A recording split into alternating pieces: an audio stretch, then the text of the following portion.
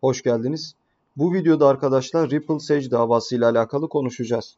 Tabii ki burada anlatılanlar yatırım tavsiyesi değildir. Kimseye al ya da sat demiyoruz. Karınızdan da zararınızdan da sorumlusunuz.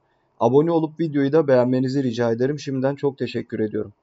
Ee, son dakika gelişmeleriyle arkadaşlar Sage'in e, dilemiş olduğu, talep etmiş olduğu Ripple tarafından arkadaşlar yani Ripple tarafı savunucularının iki kişinin e, mühürlenme isteğini yani davadaki konuşma yetkisinin mühürlenmesi isteğine mahkeme arkadaşlar reddetti.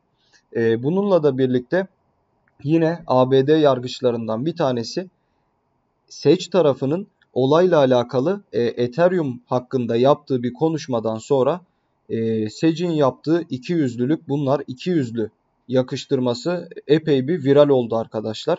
E, oldukça tepki topladı. Kimi olumlu kimi olumsuz olmak üzere iki yüzlü gibi bir e, yakıştırma yaptı. Özellikle bu olaylarla birlikte şöyle bir e, alevlenmesiyle birlikte ABD tarafında pek çok avukattan vesairede yorum geldi. Bunların e, XRP için küçük bir zafer olduğunu ve devamında da davanın geri kalanında da şu anda çoğunluk arkadaşlar buna eski SEC başkanı bile dahil e, Ripple'ın kazanacağını savunuyor. E, bu arada kesinlikle söyleyeyim Ripple bu davayı kazanacaktır arkadaşlar. Kazanmazsa ne olur zaten daha önce değerlendirdik. E, sanılanın ve beklenenin aksine Ripple'da bir çöküş vesaire olmayacaktır. Kazanılırsa eğer ama tam aksine çok ciddi bir yükseliş olacaktır sevgili arkadaşlar.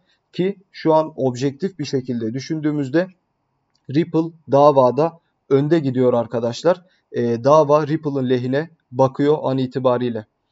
İzlediğiniz için teşekkür ederim. Abone olup videoyu da beğenebilirsiniz. Bol kazançlar diliyorum hepinize. Hoşçakalın.